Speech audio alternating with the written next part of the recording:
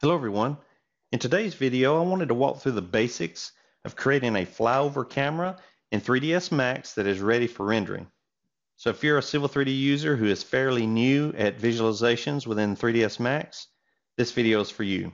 Now a great majority of the content that we show online in training videos and tips and tricks videos is focused around the Civil View toolset within Max. This is a very powerful tool set available in Max that allows Civil 3D data to move seamlessly into Max so that you can perform visualizations. As you can see on the screen, I have a model. This model comes from Autodesk InfraWorks, and I've used the Civil View tools to bring over a path, which is a center line of a corridor, and then I placed and animated some cars along that path. All that was done using the Civil View tool set at the top.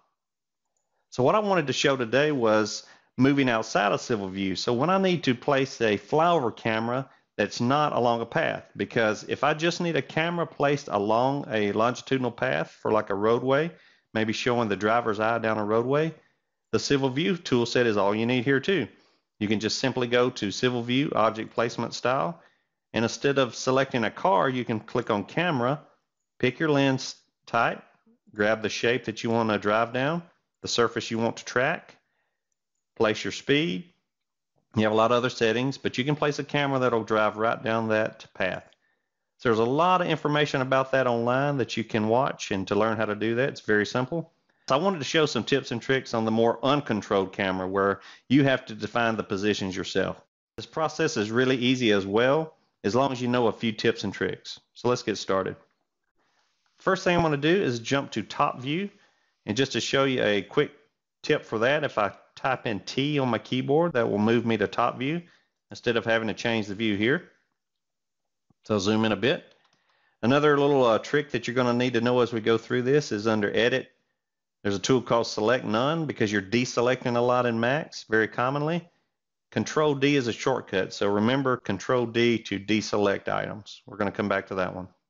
So let's place a camera. We're going to go to Create, Cameras, and the flyover camera typically for me is a target camera.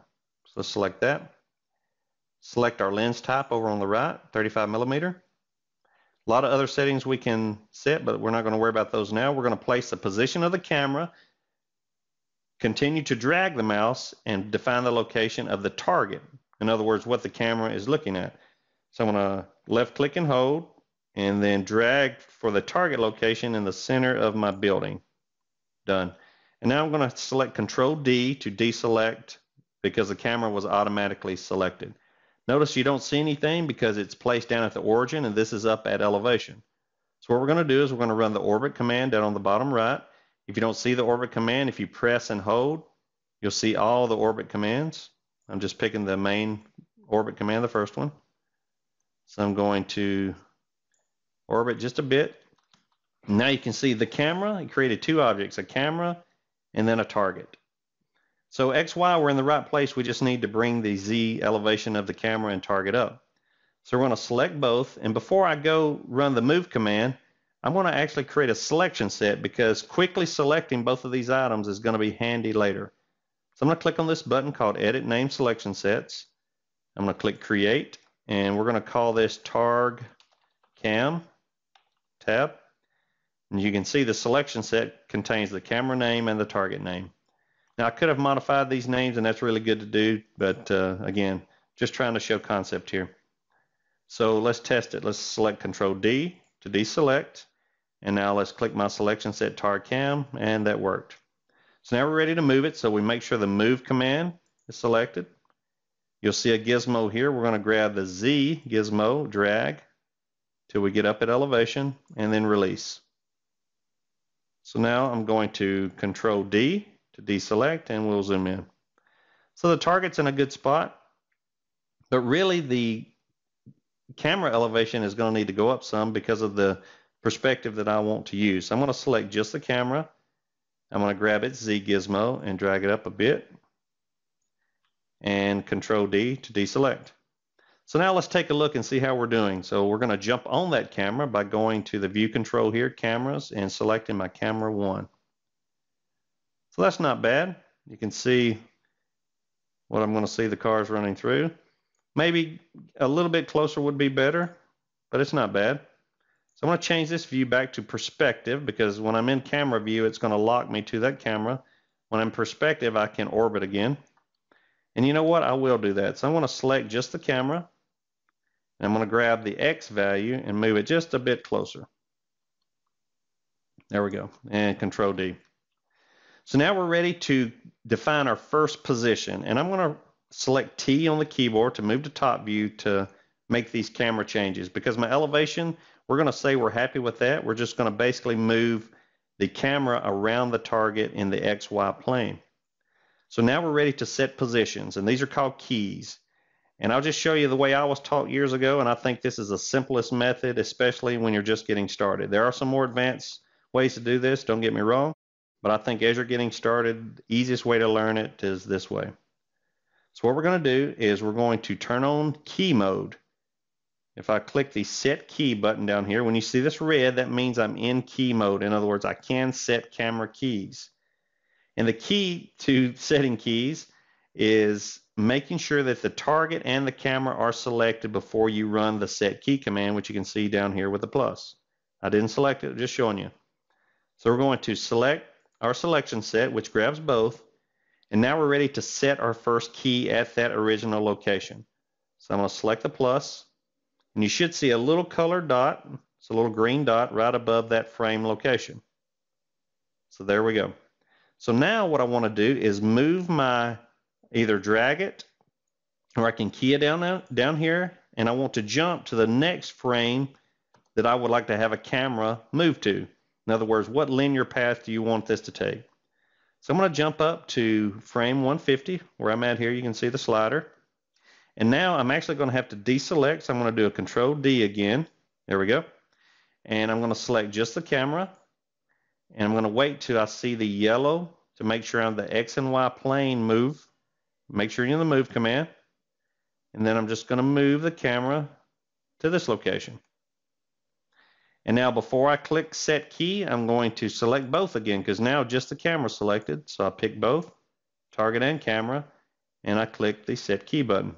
So you can see another little blue dot. So let's do that again. Control D, deselect, select just the camera, wait on, click the move command, wait on the big crosshair there. In the XY plane, we'll go to here. Now notice this is a common mistake. I just did this on purpose. So notice I began moving the camera before I move my slider position. Well, that's not going to work because when I come back to this position, as soon as I move that, See how it brings me back? Because I'm in set key mode. So the next thing before I start moving that camera is I need to jump up my position. We'll go to frame 300. Now I can select Control D, make sure to select the camera only. When the move command, drag it to the back. Now we do our selection set, boom. And now we set another key. Great. And now the same thing, let's go to 450 frame. So it moved up. Now we're going to control D to deselect. I'm going to select just the camera, go to the move command at the top, wait on the cross, spin this over here. Same thing, selection set, selects both, set key, and then we'll do one more, we'll go to 600. Control D. Move, and we'll drag this back to the other corner here up front. Select both with my selection set and set key. Now to test this, and I could have tested as I went, but I'm just going to jump on the camera from the view control, camera one, and you can see it leaves me at the last position. Okay, so you can see the car is moving as I'm moving.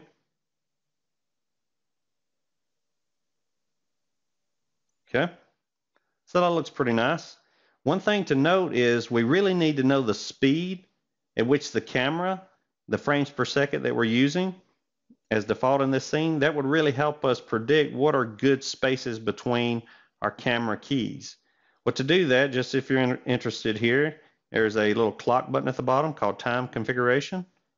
If I pick this, this is where, and I need to do this up front before, so just, uh, just a side note, but this is where your frames per second are controlled. Notice we're at a default 25, but I could go to custom and we could use a larger frames per second. But knowing your frame per, frames per second, that would allow you to make a good guesstimation about how fast the camera is going to move. In other words, how many frames should you move ahead for your new position so that you have the desired speed of the camera. And now that we're finished, really the last thing I need to do, or the last tip would be to turn off set key mode because you don't want to be in set key mode if you're not setting keys. It's kind of dangerous. And now my keys are set. So as long as I have a daylight system, meaning a sun and a sky, I could go right into the rendering tools and begin rendering that camera view showing the cars moving as I orbit around the building. So the goal today was just to show the basics, just getting started with a flyover camera and 3ds Max. I hope this has been beneficial. Have a great day.